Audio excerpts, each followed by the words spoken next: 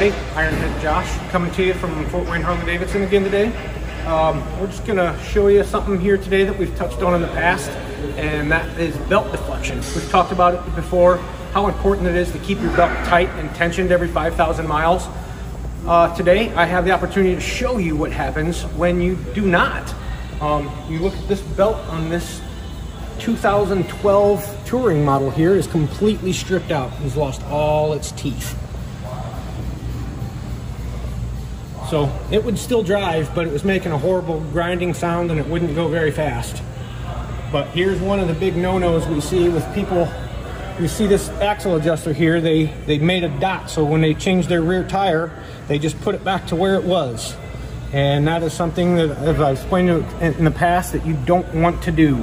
Um, that will not get your belt back to the proper tension because they do stretch out and they do need tightened up. Eventually, over time, maybe after 100 or 200,000 miles, a belt would need replaced. But most likely, if you keep your belt tensioned properly, um, this is something you probably never have to do. Um, this is an expensive fix. This is about $700 in parts and about $900 in labor to do this. Um, I'm about halfway torn down here on this. And uh, as I get it torn all the way apart and back together, we'll show you a couple more clips of what it all looks like in the final product. But we just kind of wanted to give you guys the inside of uh, what happens to a belt when you don't keep it maintained properly. So that's all for now, and we'll catch back up to you in a little while.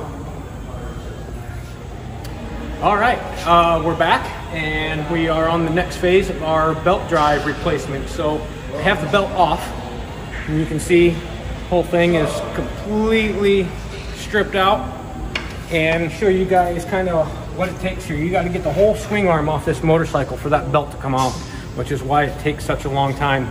Getting the pivot shaft out and the rear uh, motor mounts off. The way this works is our drive line is bolted to the frame right here.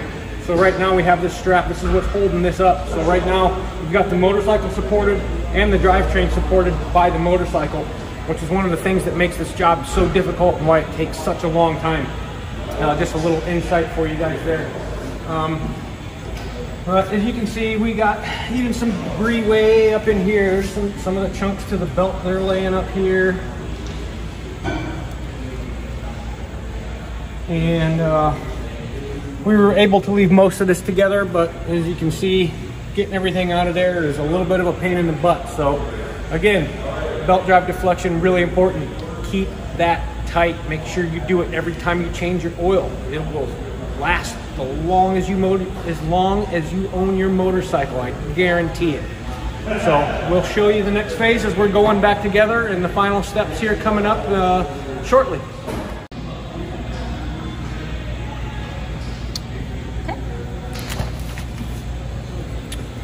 Hey, so we're back on the third phase of our belt replacement. I've got the new belt back on. Um, everything's bolted back up and tightened down. Um, here in the manual, I just had Toby show you guys is the proper uh, procedure when you check your belt. This motorcycle requires either with the wheel upright and off the ground or on the jiffy stand with no rider or luggage. Some motorcycles require the rider on the motorcycle uh, some require wheel in the air, some just require it on the ground. They're all different. It changed throughout the years. So check your service manual and it'll tell you the proper deflection. This particular bike is getting 3 eighths to 9 sixteenths deflection at 10 pounds of force. I measured 10 pounds of force with this belt deflection gauge. There's a little line on there. When I push it up and my O-ring hits that line, that's 10 pounds of force. And by comparing that with my little ruler here, which if you look real closely, all these are eighth of an inch graduations. So it's pretty easy for me to just know where I'm going because most of our deflections go within the 16th to an eighth. I'm sorry, these are 16th inch graduations, not uh, eighth inch. Technically they're 64ths, but I'm not gonna get that fine on you.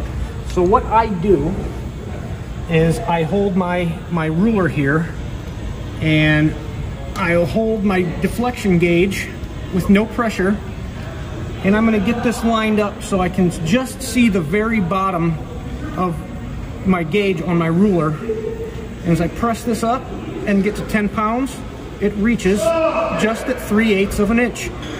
So that's all the belt deflection I need. That's pretty tight, as you can see, compared to what it was when I take, took this thing off.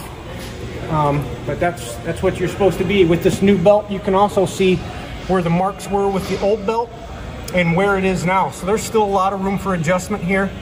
Um, I think I mentioned earlier that eventually, over a couple hundred thousand miles, these belts can wear out and stretch. But let's face it, most of us aren't going to put that many motor, many miles on their motorcycles um, in our lifetimes. Probably trade it in and get a new one or do something different. So you know, most of the time you're not going to wear a belt out. I've seen maybe two in uh, my whole career and my whole life being around these motorcycles of a belt actually having to be replaced. Um, so there'll be one more phase left and that's bolting the primary back together uh, and then taking it for a test ride. So uh, when I get all that bolted back together, we'll do uh, one more segment here of the whole thing bolted back together and riding out the door for you. But that, that's pretty much it right there. Showing you guys what it takes to do one of these. Like I said, it's, it's a big job. There's a lot of work here. And uh, I hope that uh, as customers, none of you guys ever have to uh, experience this because it's expensive. And uh, honestly, I'd rather just service your bike than I would repair it. But hey, stuff happens. And uh, you know, maybe you bought a used bike.